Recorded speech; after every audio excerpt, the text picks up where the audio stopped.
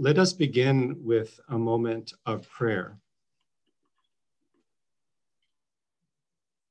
As we gather in this Eastertide, this season of resurrection, in this time where we mark the 125th anniversary of our diocesan church, in this time of pandemic where we've all suffered many losses and where we've learned and seen and have had many things revealed to us. In this time when racism is so foremost in our minds. In this time of searching and questing for new life, renewed life, and a way forward that is Christ like and hope filled. Be with us, gracious God, as we gather now. Help us to feel your presence with us in the burning of our hearts, in the awakening of our minds, and in the possibilities that we will consider and dream for our beloved diocesan church. And these things we pray in the name of the risen Christ.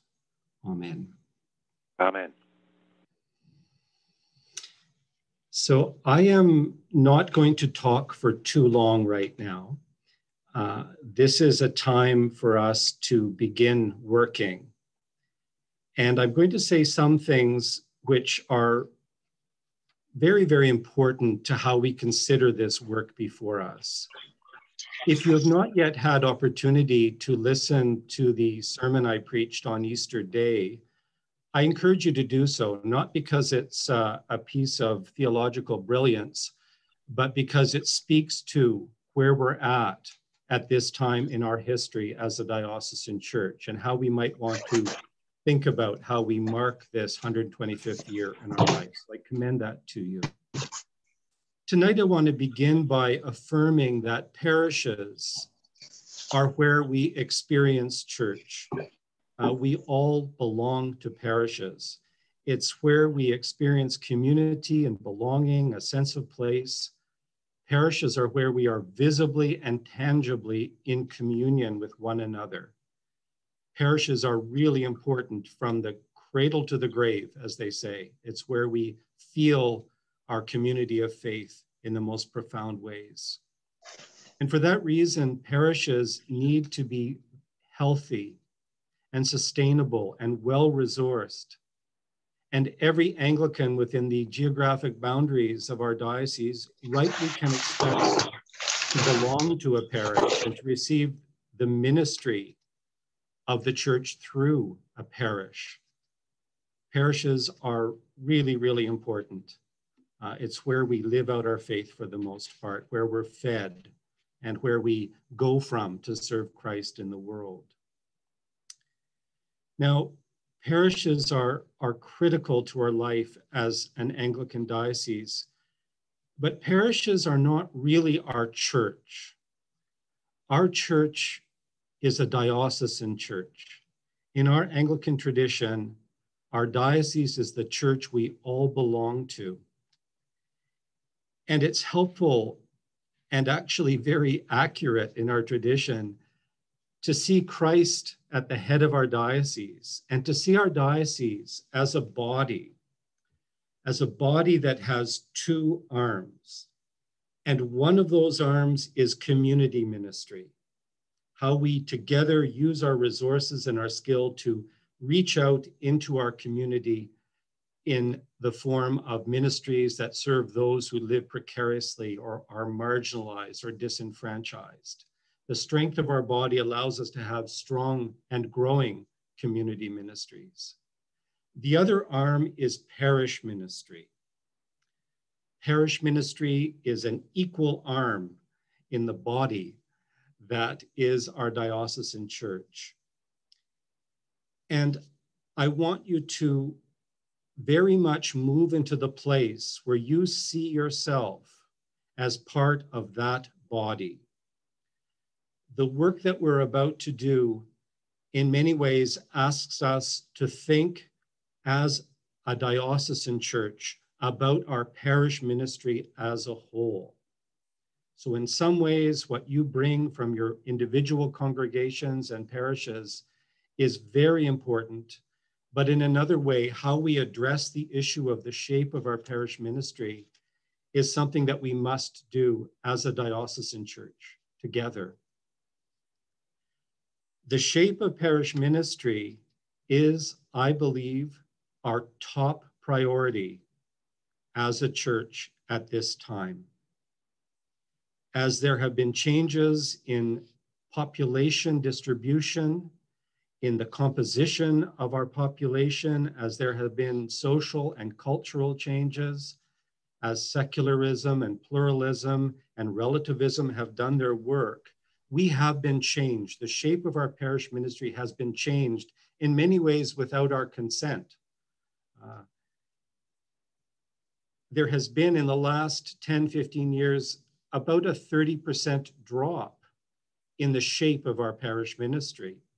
Uh, the structure has shrunk in a sense by about 30%. That was not planned. Uh, that happened and we reacted to what we saw happening up to this point. So I don't know about you, but I'm not fond of being shaped by change. Uh, not a good feeling to be have your life shaped by other factors than you would choose. I would rather guide change, consciously guide change. And I hope and pray that you will join with me in guiding the changes we must make to the shape of our parish ministry at this time. Think of yourselves, think, let's think of ourselves as the generation who has been tasked to do this. Uh, other generations in the 125 years of our diocese and before that were tasked with building the structure, uh, the shape of parish ministry. And in many ways, we're still living from the vestiges of that structure. But we are the generation that has been tasked to address fundamental issues in the shape of parish ministry. And as I said earlier, we must take on this task together as a diocesan church.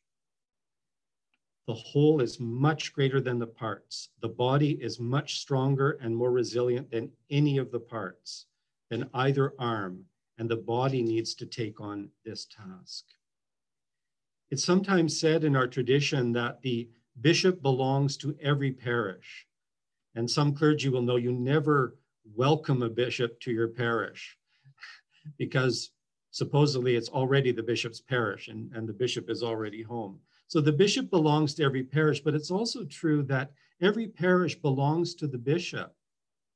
And that's not a personal statement. What it means is that every parish belongs to our diocese as it's represented in the office of bishop. So that as a diocesan church, as bishop, clergy, and people working together, we are the generation to give shape to our parish ministry as a whole.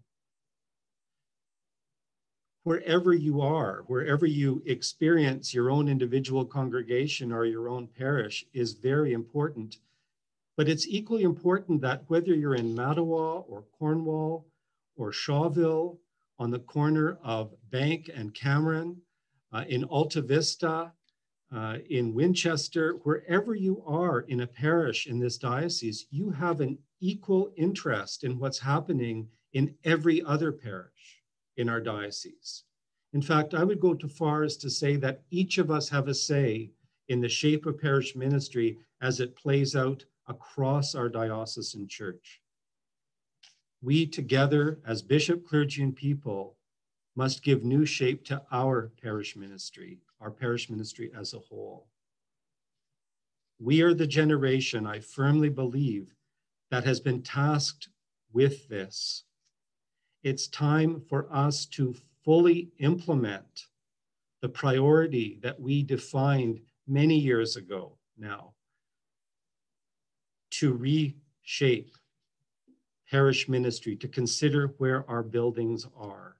We've been considering this for so long and we know it's a priority. Each of you in your own context, in one way or another, know how important it is to attend to the pressures and stresses that face our parish ministry.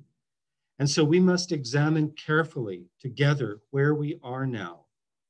And we must discern together where God is calling us to be, what shape our parish ministry will take, where we will have buildings. We are the generation that has been tasked with this, and every priest, every layperson, and certainly myself as bishop, along with every congregation, needs to contribute and be part of what happens next. And that is why you are here this evening. Parishes are where we visibly and tangibly are in communion with one another. It's where we experience belonging and a sense of place. And we, our generation, has certainly been called to bring new shape, new dreams, and new expressions of our parish ministry into being.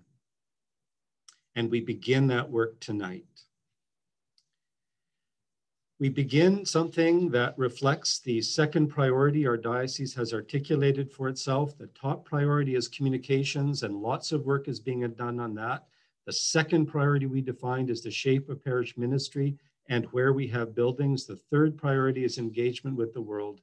And our fourth priority may be termed lifelong discipleship.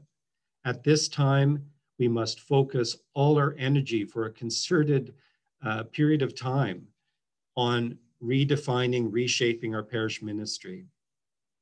And so, this conversation and action that we're about to undertake will be facilitated by a team who has been working very hard to bring us to this point this evening. Anne-Marie Clydesdale, a laywoman who is one of two co-chairs, is joined by the Reverend Dr. John Martin as the uh, leads on the group which will fill us facilitate our conversation. The other members of the team are Anne Chaplin, Barbara Kanye, the Reverend Tim Kehoe, the Reverend Rhonda, Rhonda Waters, and Archdeacon Mark Whittall. They are the team that will facilitate our conversation to keep us on track, to keep us focused, working very closely with me over the next 18 months to bring us to the point where, God willing, you will tell me, because we have discerned together what the shape of our parish ministry is to look like and where we are to have buildings.